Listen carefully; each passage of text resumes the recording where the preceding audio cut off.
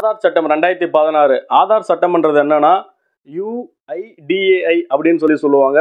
Unique identification authority of India அப்படின்னு சொல்லி சொல்லுவாங்க.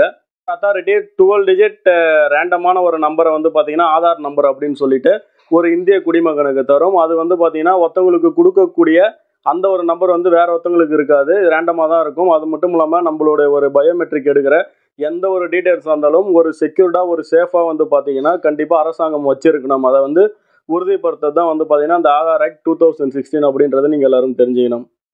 எந்த ஒரு இந்திய குடிமகனும் இந்த ஆதாரில் என்ரோல் பண்ணி அவங்களுக்கான ஒரு ஆதார் கார்டை பெறலாம் அப்படின்ற ஒரு விஷயத்துக்காக இந்த ஒரு ஆதார் சட்டம் கொண்டு வரப்பட்டது.